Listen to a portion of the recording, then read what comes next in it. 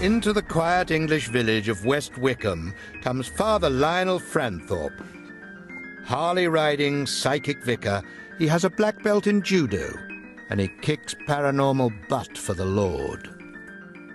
This is Saturday, the 14th of May. I'm trying today to, as a scientific experiment, see whether it's possible to make contact with a succubus.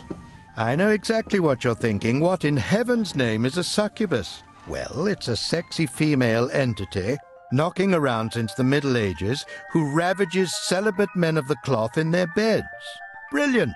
That explains why Father Fanthorpe is wearing his gym jams. There is a strange but very faint sensation in the room. Within moments of prostrating himself on the bed, Father Lionel begins to sense a female presence.